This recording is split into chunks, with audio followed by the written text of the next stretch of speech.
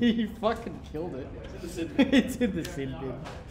Hey guys, Ben from Idiots Play Games. Today, giving my Hercule deck profile. Um, now, I'm not basic and I don't play the Peter Katani build. I play the better build because Peter Katani's a little bitch. Um, but yeah, so playing Hercule.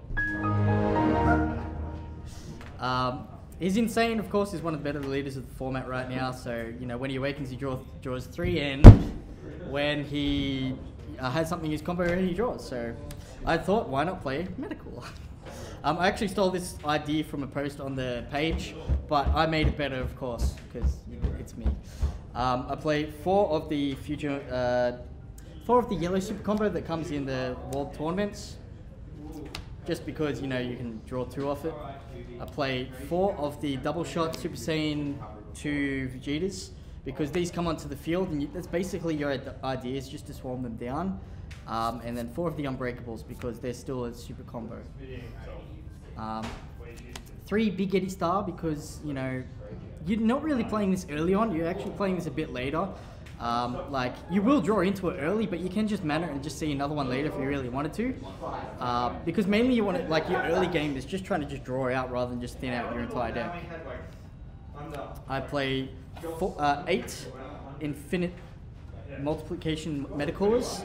Um, I think eight's the right ratio. Just with this current type of build, you do draw them out. You can combo them out, so they're always going to be some in your uh, in your drop area. And since we don't play any warp cards, it's fine.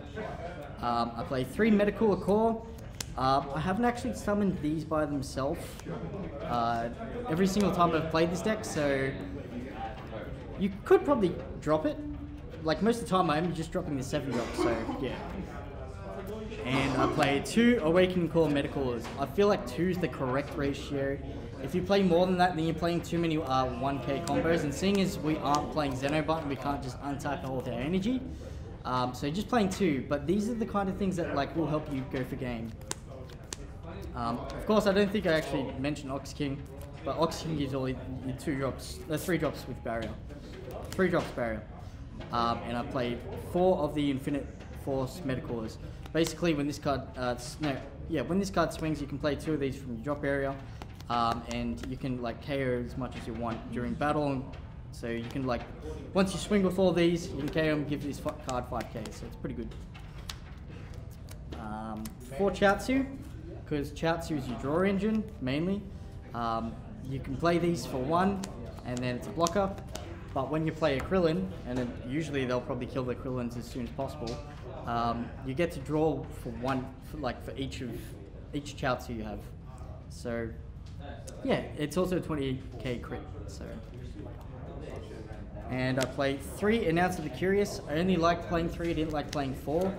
Um, because, I don't know, it's just the way I liked it. And four play-by-plays, because play-by-plays another pot of greed for the deck. So yeah, that's it for the deck profile, guys. Um, I actually have been doing pretty well with this deck, but maybe it's because it is the Herculator. That's it for the video, and I'll see you in the next one.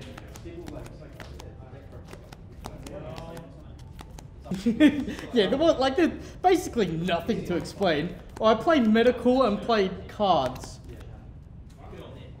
Yeah, like. And I don't want that to happen. This um,